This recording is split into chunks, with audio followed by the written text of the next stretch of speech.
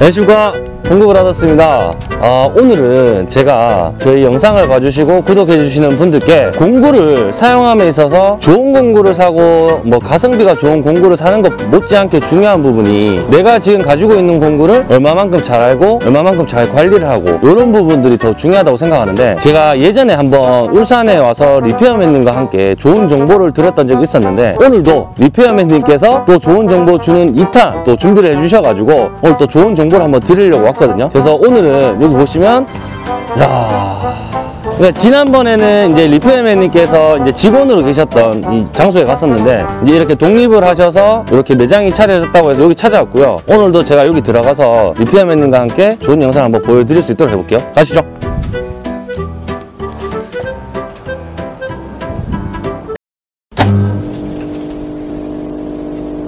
안녕하십니까. 반갑습니다. 아, 또 반갑습니다. 아, 오늘 또 이렇게 이제 저희 구독자분들, 시청자분들, 그리고 리페어맨님도 이제 시청자분들, 구독자분들이 많으신데, 이렇게 또 좋은 정보를 주신다고 하셔서 네. 제가 한 걸음에 달렸고요. 네. 저번에 왔을 때랑 다르게 이 가게가 바뀌었는데, 네. 어, 어떻게 된 거죠, 이거? 따로 독립해서 네. 이제 따로 나온 지 한 4개월 정도 됐고요. 예. 그때는 직원인데 이제는 제가 따로 오너. 독립해서 이제 오너로. 어, 축하드립니다. 네. 어, 좋은 일이 있었네요, 그간에 또. 네. 하여튼 이제 지난번 시간에 제가 이제 울산에 와서 네. 알고 계시면 좋을 법한 이런 정보들을 많이 주셔서 네. 저희 시청자분들, 구독자분들께서 정말 도움이 많이 됐다고 하시더라고요. 아, 네.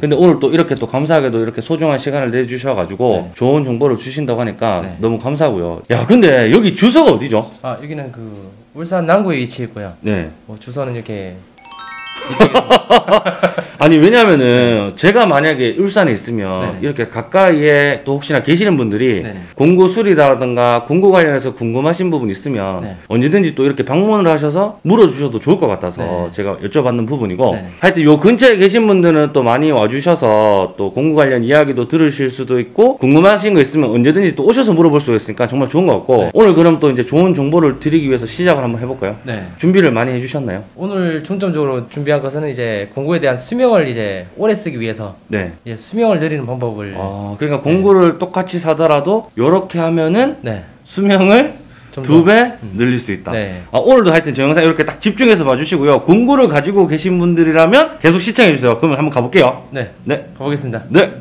자, 첫 번째는 회전식 에어 공구나 공구들은 이제 안 내부에 베어링이나 blade 같은 이제 중요 필수 부품들이 있는데 그 부품들이 이제 습할 때는 상관없는데 건조해지는 과정에서 그때 문제가 발생합니다. 건조해지면서 발생한 녹들이 그 안쪽에 있는 회 blade나 실린더를 갉아먹기 때문에 특히 이제 blade 같은 경우에는 이런 거의 뭐 나무 재질, 베크라이트 재질이나 나쁜 나무 재질로 되어 있습니다. 근데 이게 이제 건조해지면 말라버리기 때문에 이 자체에 깨지거나 금이 가거나 그런 현상이 나타나거든요. 더군다나 또 녹이 발생하게 되면은 녹이 발생 한 그 실린더를 갈아버리기 때문에 힘의 저하가 엄청나게 툭 떨어집니다. 그래서 보여드리면 지금 이 같은 경우에는 이제 힘이 약하다고 수리가 들어온 건데요.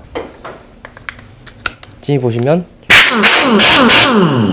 이게 지금 힘이 엄청나게 떨어져 있습니다. 지금 안쪽에 건조해서 일어난 현상인데요. 이럴 때 air tool 공구에서 제일 중요한 게 air tool oil이라는 게 무조건 필수로 들어가야 됩니다. 이 air tool oil이 이 내부에 윤활 역할을 하면서 부품들의 수명을 올려주기 때문에 꼭 필수로 넣어주셔야 됩니다. 보통 일반적으로 카센터나 쓰신 분들이 이제 구매를 하시게 되면은 air tool oil을 전혀 안 넣고 쓰시거든요. 그때 건조해지기 때문에 녹이 발생하거든요. 이제 air tool oil을 넣게 되면은 내부 부품들이 기름이 기름 막 쌓여서 이제 녹슬거나 그런 현상이 없습니다.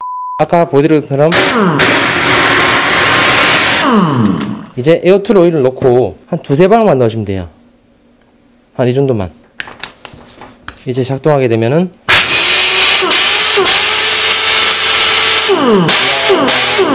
아까 전이랑 확실하게 소리가 다르네요. 네. 네. 이렇게 air tool oil만 넣어도 보통의 평상시대로 힘을 낼 수 있기 때문에 air impact이나 뭐 이런 에어 베이비 같은 경우에 air tool oil만 넣어도 성능이 다시 확 올라가게 됩니다 그러면 이제 베어링이랑 blade 쪽에 air tool oil이 들어가면서 원상태로 돌아가게 됩니다 자, 그러니까 어, 이 부분은 네. 저도 예전에 한번 설명을 드렸던 적이 있었거든요. 네. 에어 공구를 쓰실 때 오일이 정말 중요하다. 네. 물, 오일, 물, 네. 오일 계속 했었어요. 네, 맞아요. 그러니까 지금 요 리페어맨님께서 말씀해 주시는 부분이 아무리 좋은 기계, 비싼 기계를 사더라도 특히 에어 공구 네. 그리고 회전을 하는 네. 에어 공구 같은 경우는 이렇게 지금 모든 에어 공구가 이제 컴프레셔 호스를 여기다 연결하는데 여기 연결하는 여기 nipple에다가 에어 오일을 한두 방울씩 떨어뜨렸을 때 네. 분명히 지금 이 기계가 힘이 없었지만 오일만 주입하는 것만으로도 네. 다시 원상복구가 되는 이런 모습을 지금 말씀해 주시는 거잖아요. 네. 오일을 너무 많이 필요 없고요. 한 방울씩만 넣어도 에어가 싹 퍼트리는 느낌이니까 그렇죠. 바람이 내부에 다 들어가면서 퍼지게, 내부에 다 퍼지니까. 네, 다 퍼지게 됩니다. 이 부분을 또 에어 공구 회전식 에어 공구를 사용하시는 분들께서는 알아주시면 또 좋을 것 같고요. 네.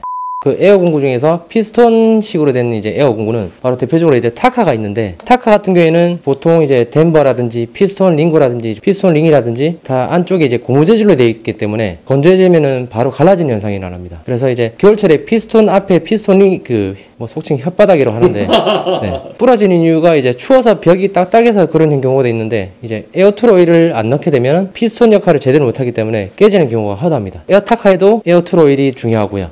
air tool 오일은 항상 이제 건조함을 피해줘야 되는데 밀폐된 공간에서 보관을 꼭 해주셔야 됩니다. 보통 이제 에어타카 같은 경우에는 타카를 쓰신 분들이 보통 air tool 오일을 안 넣는 이유가 목재에 이제 다 묻는다라고 말씀하셔서 안 쓰신 분들이 허다한데 뒤에 배기 밸브가 방향 조절이 되거든요. 항상 뒤쪽으로 해놓으시고 목재에 안 묻도록 그렇게 쓰시면 됩니다. 그리고 이제 에어타카 같은 경우에는 크기가 작기 때문에 air tool 오일을 딱 한 방울씩만 뭐 일주일에 한 방울씩이라든지 이제 관리를 좀 잘하게 잘해야 되겠다 싶으시면은 하루에 한 방울씩 그리고 만약에 목재에 묻는다라고 이제 염려가 되신 분들은 작업을 다 끝난 뒤 저녁에 한 방울씩 넣고 공회전을 몇 번 해주시고 보관해 놓으시면 됩니다. 자 이제 두 번째로는 회전식 전기 공구에 대해서 설명드릴게요. 전기 그라인드 같은 경우에는 초반 스타트 최대 RPM까지 올라가는 그 속도가 있는데 이런 식으로 이제 초반 스타트 최대 RPM까지 가는 시간이 있습니다. 일반적으로 쓰실 때 바로 전원을 켜고 바로 쓰시는 분들이 많은데 왜냐면 최대 RPM까지 올라가지 못하는 상황이 나면 이제 부하를 걸고 먼저 작업을 하게 됩니다. 이제 기계 자체에 무리가 많이 가죠. 그러면 이제 회전자에서 고장이 발생하기보다는 이제 안쪽에 고정, 고정자에서부터 먼저 발생하기 때문에 같이 모터가 타버리는 경우가 많습니다. 두 번째로는 거의 보통 이제 과부하 현상이 polisher에서 많이 발생하는데 날 부분이 크면 클수록 RPM 속도 올라가는 속도가 느려지게 됩니다. polisher 같은 경우 에는 보통 대부분 고장률이 모터 탄, 타는 현상이 제일 많거든요. 뭐 오래 써서 고장 나는 곳- 경우- 경우도 있지만 거의 대부분이 최대 RPM까지 올라가기 전에 바로 작업을 하시기 때문에 이 모터 타는 경우가 많습니다. 이제 polishing 장비 돌아가는 거 보여드리면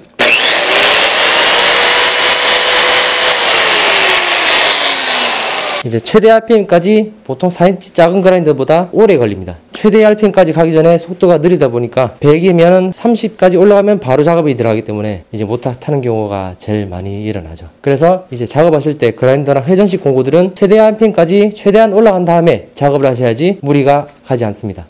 자 이번에는 어 이거 지난번 시간에도 정말 많이 말씀을 해주셨던 부분인 것 같은데 네. 대부분 생각을 하시는 게 네. 아니 이거 내가 무리한 작업하면 네. 카본만 타고 카본만 갈아주면 되지라고 생각하지만 네. 최대 RPM에 도달하기 전에 바로 작업을 해서 부하를 받아버리면 네. 모터가 무조건 타죠. 타버린다. 네. 예, 그래서 꼭 이렇게 회전 공구 전기를 꼽아서 카본 브러쉬가 들어가고 회전이 되는 제품인 경우에는 네. 작동을 시켜서 한 2초 정도 최대 RPM에 도달한 걸 확인한 다음에 쓰는 네. 습관을 가지셔야지 네, 오래 씁니다. 오래 쓸 수 있다. 예. 보통 그 이제 회전식 그 polishing 장비 같은 경우에는 이제 빨리 작업해야 되니까 그렇죠, 그렇죠. 빨리 차, 빨리 네. 방생 내줘야 되니까. 네, 그 1분 1초 아까운 시간들 많은데 그래도 이제 기계 공구를 오래 쓰려면은 그렇죠.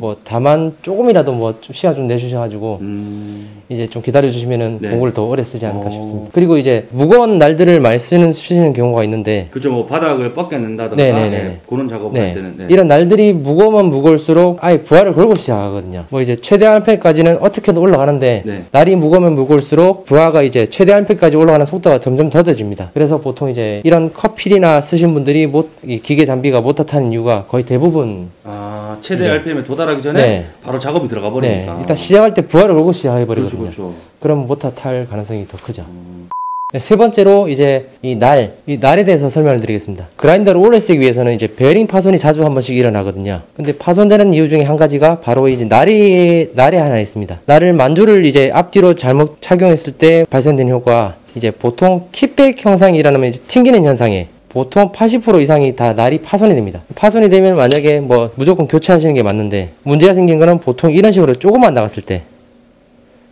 거의 대부분 그냥 쓰신 분들이 많거든요. 근데 이렇게 일부분만 나가고 그대로 작동하게 되면은 회전 축이 틀어져 버리면서 진동이 많이 일어납니다. 그럼 진동이 일어나면은 이제 기어 뭉치라든지 이런 기어 케이스 부분이 회전 때문에 깨지거나 베어링 손상이 잘 일어나거든요. 그러면 이제 베어링이 이제 금방 손상이 되기 때문에 또 고장이 많습니다. 그러면 무조건 이제 날을 교체를 해 주셔야 됩니다.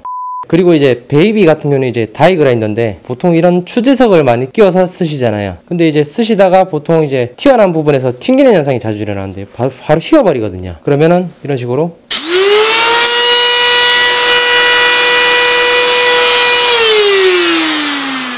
이제 소음도 크게 발생하고 기계 자체에 진동이 일어나면서 베어링이 전부 다 나가게 됩니다. 그래서 보통 이제 이 휘어진 날을 쓰기보다는 교체하셔서 사용하시는 게 맞고요.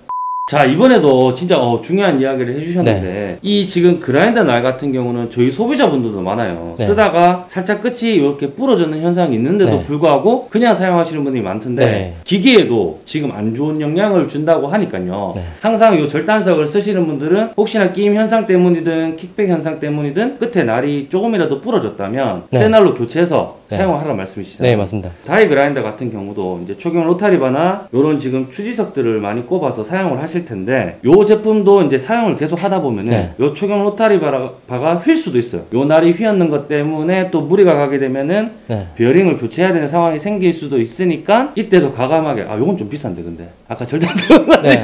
비싸더라도 네 기계의 뭐 수명을 조금만 쓰시고 이제 교체를 해주셔야 됩니다. 그러니까 교체를 하시기를 네. 이제 권장한다는 말씀이시거든요. 네네네. 네. 그리고 이제 만약에 지금 그 진동을 보시면은 네. 와, 와. 굉장히, 굉장히 진동이 심한데, 지금 똑같은 기계에다가 앞에 지금 초경 로타리바만 새 걸로 바꿔서 다시 한번 보여 봐 드릴게요. 와, 훨씬 부드럽다. 오. 아니, 소리 자체도 좀 다르다고 느껴지는 게, 네. 아까 전에는 막 진동도 심했지만 소리도, 소음도 컸었는데, 네. 지금 은 이제 전, 진짜 정상적인 부드러운 소리가 나네요. 네. 자, 한번 비교를 해봐 주세요. 화면 두 개를 띄워 드릴게요. 자. 와.